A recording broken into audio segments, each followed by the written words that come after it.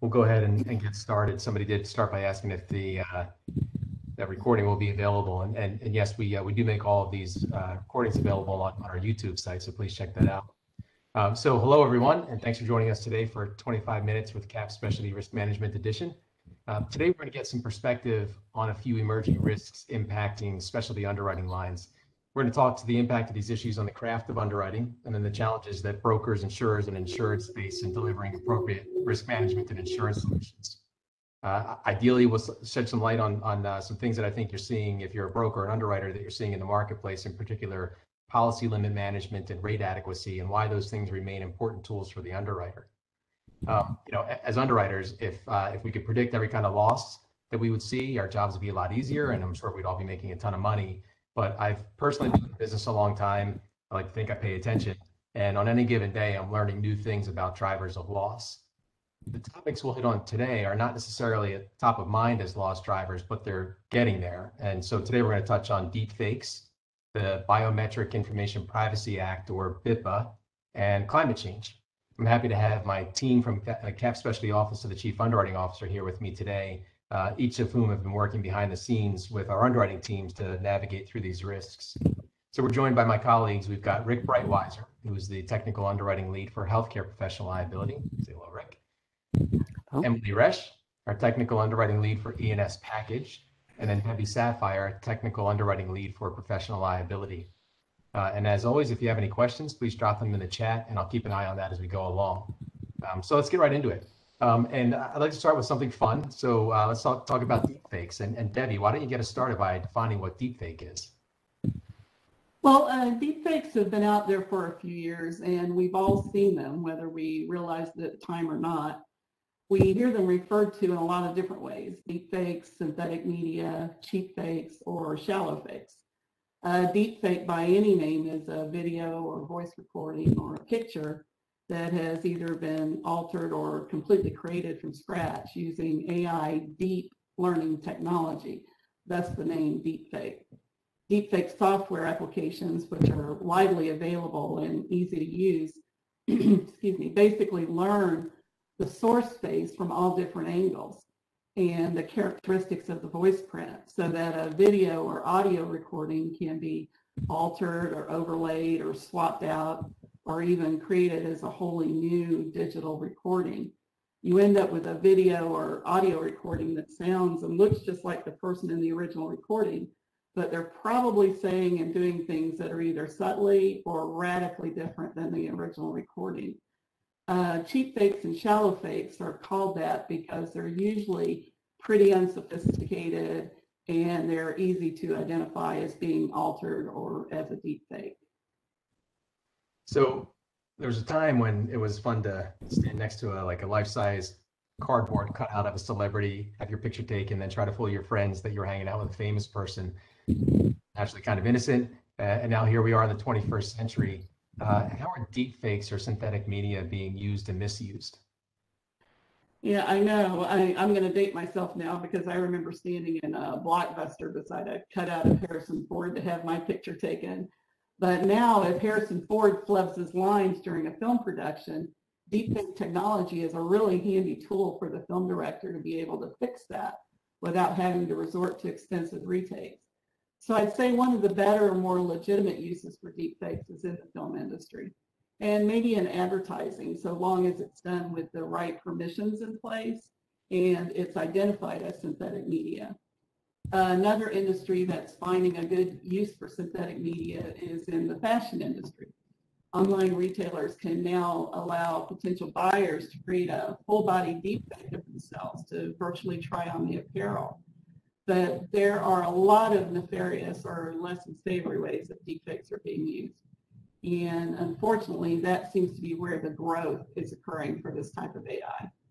The biggest misuse is in non-consensual pornography, where a famous person's face, usually a famous actress, is integrated into a pornographic video and then gets widely distributed.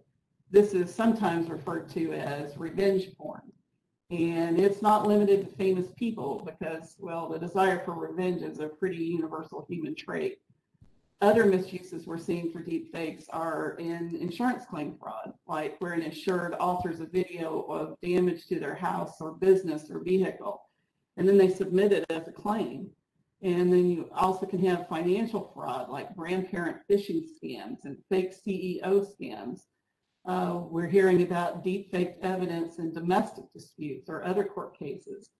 And then, of course, we've all seen it used in political ads, and we've seen it with the news media showing deep fake video as breaking news, and then later we find out it was really an altered video or a voice print. Sadly, once these videos make the rounds on the news or on social media platforms, it's really hard to pull it back. If the deepfake is sophisticated enough, that becomes the new reality. And deepfakes have really created a situ situation where we have to question what's real or authentic. Um, the existence and sophistication of deepfakes has created another problem, plausible deniability if a recording is now presented as evidence of a person's crime or wrongdoing, that person can now very plausibly claim that the recording is a deep fake. Yeah, so naturally, some pretty serious stuff there can create some pretty significant harm. Um, I'm not uh, losing sight of the positive uses that you mentioned at the beginning there, but um, you know, of course, we're talking about the uh, uh, the insurance the insurance liability risk that comes with this. So in, in, making the connection to typical policy language and claims, um, I think there are a couple of close cousins, specifically the misappropriation of image claims under general liability policies, and then violations of the, you know, what I mentioned before, the Biometric Information Privacy Act, or again, BIPA. Um, so both Debbie, uh, sorry, Debbie and Emily, um, can you speak to some of the misappropriation of image cases and, and how policy language has adapted to this modern era exposure? Uh, maybe Debbie, you want to you want to go first? Well, it has to adapt because there are a lot of opportunities for using synthetic media in advertising and marketing. One that you may have seen is the Tree artist Bob Ross. Um, he's dead, but in a new commercial where he was basically brought back to life to paint a bottle of Mountain Dew in one of his paintings uh, since the software is so readily available and easy to use, using a deepfake celebrity in advertising may seem like a really good idea and a great way to drive traffic to an online or brick and mortar business, especially if that video goes viral or ends up on social media. For example, you may be the owner of a bar or restaurant and you use a deepfake Tom Cruise in a local TV ad and show him sitting at your restaurant having a meal or having a really great time mingling with the guests at your bar now you're looking at a misappropriation of image situation. Right. Yeah, I uh, remember several years ago we were kind of having the low-tech version of these claims where, under the CGL, where you'd have, um, you know, an employee go and find an image of a, a model or a famous person, and, and they throw it on their flyer or advertising, um, often for businesses that maybe someone wouldn't want to be associated with, like the adult entertainment business, and they didn't get the appropriate permissions. Um, so uh, back then, when those claims were starting to come in, a lot of insurance companies started responding with exclusions.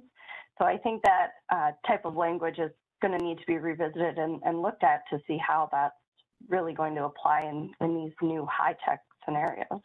Right, right. It uh, uh, little, little, little crazy that one of the common themes of the nefarious uses of these things always seems to come back to sort of the adult entertainment uh, uh, area. But so, so you know, if you can think of a deep fake as a virtual clone, I, I feel like anyway, you're a short step away from making the clone more real by adapting biometric data. Um, so now let's touch a bit on, on some newer legislation that's aimed at protecting people from these emerging trends. And, and specifically, this is, uh, again, the Biometric Information Act that I've now said about six times um, from now I'm, I'm going to call BIPA. Um, so, so Rick, uh, uh, introduce the BIPA to us. Sure. Well, um, BIPA, um, our laws enacted to safeguard the unlawful collection or storing um, of biometric information. So we're talking about uh, retina or iris scans. We're talking about voice prints, fingerprints, palm prints, um, or any other characteristic uh, unique to an individual. And uh, it's um, hitting us, uh, hitting the radar a little bit because uh, while so far Illinois, Texas, Washington, California, New York, and Arkansas have actually passed legislation on BIPA. 27 states have pending legislation, and there's even uh, um, a federal uh, legislation uh, that was put before the uh, congressional committee.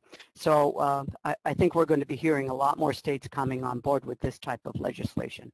Yeah. So, uh, you know, people that have heard about deep fakes have probably seen the Tom Cruise deep fakes. And, and then, of course, it makes one think of Mission Impossible level biometric retina scans, among other things.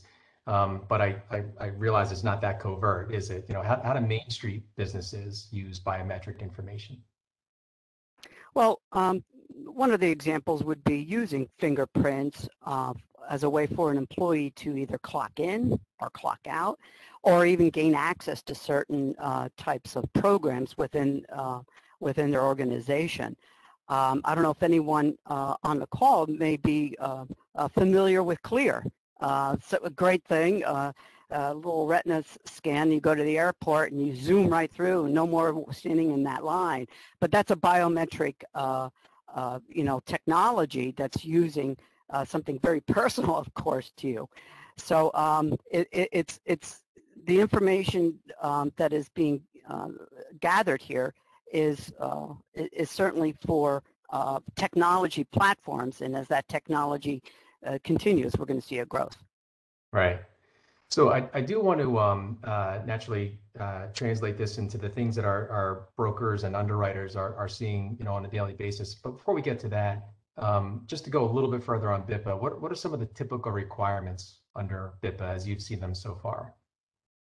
Right. Um, so you, uh, folks that are uh, familiar with HIPAA are going to hear things that are kind of similar here. Um, and the first is inform uh, in writing a person of what data is being collected or stored. Um, a second would be inform the person in writing the purpose and the length of time of which the data will be collected, stored, and used. Uh, you do need written consent, and um, uh, you have to detail, detail um, when you're going to destroy that when it, you don't you don't need it anymore. And of course, the big thing as we're seeing with all the cyber stuff going on is securely store it um, because you want those biometric identifiers stored. Right. So I, I know from our discussions that the various state acts will, pres- uh, I'm sorry, prescribe uh, specific fines and penalties, and and, uh, and on their own they can be very punitive. Um, but then, of course, there's civil litigation, which is where we tend to come in on the insurance side. Um, can you give an example or examples of, of cases that have arisen from alleged BIPA violations? Um, sure. So early on, we saw some cases in Facebook, Google, Sh um, Shutterfly, um, all alleging um, uh, you took my facial image and you stored it without my consent. So there are those cases, but you know we won't really see those cases. So um, uh, recently, there's some that are more impactful for the I think for the insurance industry. Uh, and the first will be there's a tanning salon in Illinois that used a fingerprint um, uh, as a scan uh, to get into the facility in lieu of, of a uh, of a card, a membership card.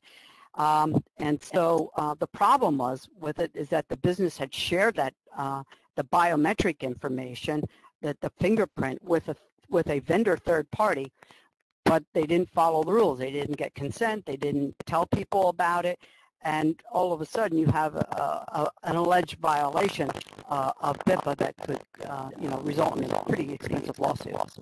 Right. And so just to be clear on that, the third, because I, I, remember this case, you and I talked a lot, we all talked a lot about it. Um, they weren't sharing it with a third party for the benefit of, of profiting from it. It was really just for the benefit of facilitating what they thought was a more efficient and effective uh, clocking in process or checking in process, if you will. Is that is that right? That's correct, um, and that's a good example of of technology. At this great technology that we can use and help our business, but not thinking through uh, it entirely to the end. Right, right. So then, um, going a little bit further on this, with respect to the insurance coverage for these cases, what coverages have been sought in these uh, in this limited set of BIPA cases that we've seen so far? So we've seen uh, cases brought for GL, um, for PL, and uh, EPLI, And um, the requests uh, for coverage have led to denials uh, and, and some uh, declaratory judgment litigation. Um, and most of those are involving employee exclusions because it's heavily employee used. Uh, it's interesting that that tanning salon is a is a third party using it, so to speak, a a, um, a customer um, using it. So uh, we're seeing uh, that, um, and there's other exclusions such as privacy, um, et, et cetera. What happened in that tanning salon case, though, it was brought again by a third party brought under CGL, and the court held that uh, the advertising injury of the CGL policy was triggered in that there was a duty to defend. And there was a second case uh, that just recently came out with uh, Church Mutual, who was uh, insuring an assisted living facility, um, where they were requiring their employees this time uh, to uh, fingerprint, um, have a fingerprint scanner to clock in and clock out.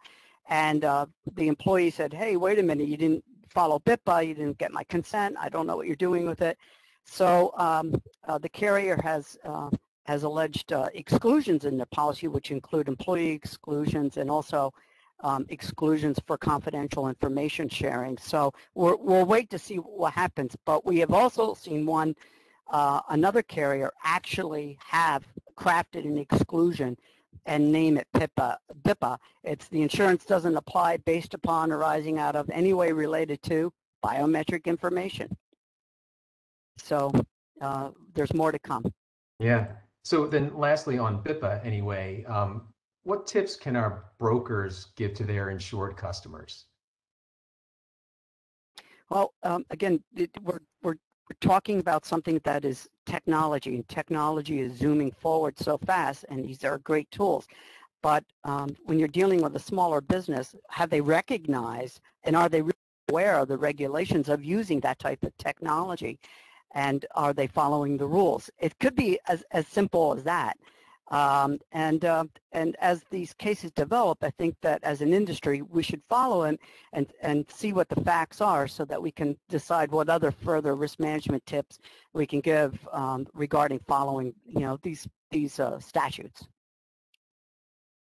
Emily, any any quick advice on that before we move on? I'm sorry, Debbie. Any quick advice on that before we move on to the next uh, climate change? Well, um, I just wanted to mention that since voice prints and face prints are considered biometric information, like Rick said, it's important to be aware of regulations and follow the rules.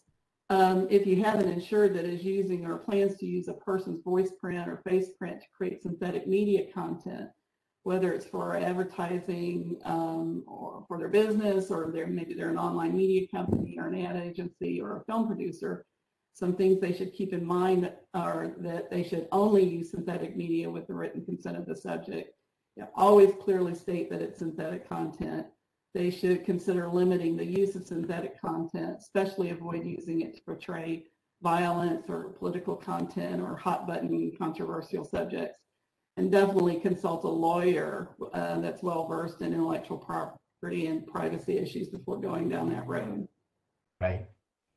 So, all right, um, a lot about BIPA, deep fakes. Let's uh, switch gears and bring this plane in for a landing and talk about climate change, and in particular, uh, the impact of climate change on liability insurance. So, um, Emily, uh, why don't you set the stage for us with some statistics? Sure. Um, the climate crisis is a topic that's been on the industry's radar for a while, but I really think now we're starting to see the increasing impact more concretely um, through the more frequent severe weather events that we've been experiencing. Um, just to give you some numbers of catastrophic storms and their frequency in the past decade, in the 80s, the average number of billion dollar disasters, and this is adjusted for inflation, was 2.9. In the 90s, that number was 5.3. The 2000s, 6.3. The 2010s, 12.3. In just the last five years, 16.2 and 2020 sent a re- set a record of 22 billion dollar occurrences or billion dollar disaster occurring. That um, uh, it's it's hard it's hard to uh, avoid for sure, um, or or to say that doesn't exist. So, how should we quickly orient the liability just so we can get right to the right to the substance of, of what we're interested in. Sure. Um, so at a high level, I kind of categorize the risks related to a climate crisis as uh, first contribution and second adaptation failure. Um, so with contribution, the risks uh, are a larger concern in the energy sector and certain manufacturing where um, there tend to be high levels of greenhouse gas emissions from companies' operations and products. Um, there's already a, a, history of suits against companies for actually contributing to climate change because of their emissions or uh, for failing to comply with regulations meant to limit greenhouse gas emissions. Um, some of you may recall the uh, Volkswagen emissions scandal a few years back. Um, adaptation failure, on the other hand, really applies more broadly to just about any business. Um, and by adaptation failure, I mean businesses failing to adapt to climate change and its effects. We're seeing increased uh, severe weather, we're seeing increased regulation related to climate change. So as we're largely a casualty writer, let's get right into what's the state of play of climate change on liability lines?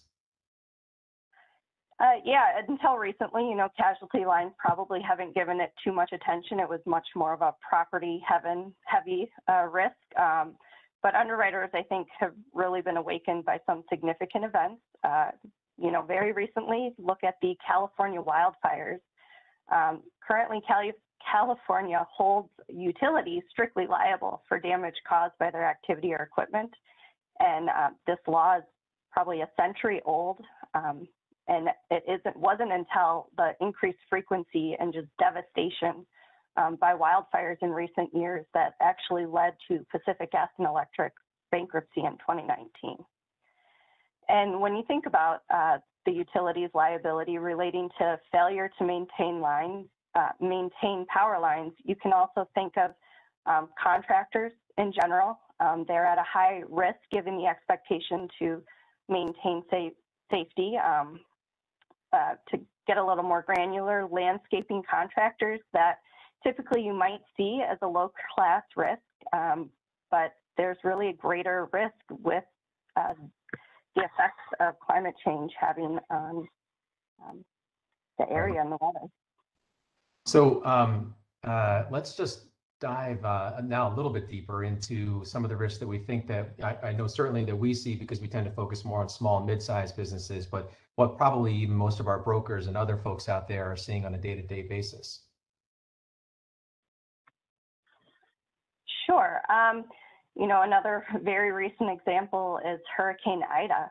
Um, sadly, due to very severe flooding in New York City from Ida, several people lost their lives in basement apartments where there was inadequate egress. And these types of events, um, you know, are tragedies and they're likely to give rise to several liability lawsuits, uh, especially considering that there was an expectation that landlords had learned their lesson from Superstorm Sandy. Yeah.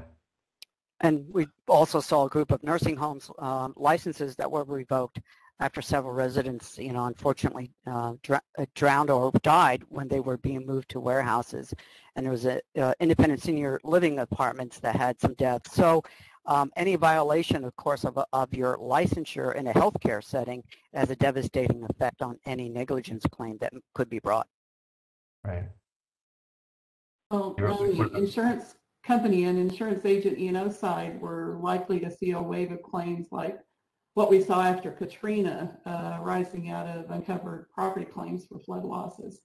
CoreLogic has estimated that insured flood damaged properties in the Northeast from Ida will be in the 5 billion to $8 billion range, and uninsured property values could very well double that. Yeah, uh, big, big numbers for sure. Um, so uh, I know we had talked about, you know, maybe wanting to get into some of the um, uh, you know, what can our brokers and insurers understand uh, about how to mitigate these risks? Regrettably, we're we're running short on time. Um, we covered a, pretty good pretty good range of topics here. I think I'd like to just close it out and, make one comment about the next one. So first of all, I think I've, you know in the other ones that I've moderated, we've talked about a pretty consistent theme. These are um, yet other emerging topics that I think are are driving activity that we're seeing in the marketplace, like uh, tightening limits, um, rate strengthening because these things need to happen because uh, particularly in the in the area of liability risks, but really across specialty underwriting in particular, I think volatility is getting greater and greater. And uh, and so you know particularly when you think about liability and uh, and the possibility of finding yourself in a lawsuit down the road, you know liability claims, as most of us know, they don't settle for or, or fully developed for you know five years or, or or more. And so you know you need to make sure that you've got enough um, uh, control over your limits and enough rate in the bank in order to pay for those claims when they come five years from now. Sure enough, when when a claim settles or or um, a judgment is awarded, uh, it's going to be at whatever the current dollar valuation is. It's not going to be at, at what it was when the when the accident actually occurred. Um, so these are the reason why um, you're seeing these things from the insurance market and why they need to they need to persist. That that um, responsibility needs to persist. Um, Today, we just scratched the surface on a few interesting risk topics. At our next 25 Minutes with Cap uh, Risk Management Edition in November, uh, our own Mary Schust and Bill Roy are going to do a deeper dive on deep fakes and non-fungible tokens, aka uh, NFTs. Um, so listen, Rick, Debbie, Emily, thank you so much for taking the time today and, and uh, share your valuable insights on these topics. And to everybody dialing in to listen, thank you so much for supporting CapSpecialty. Thanks, everyone.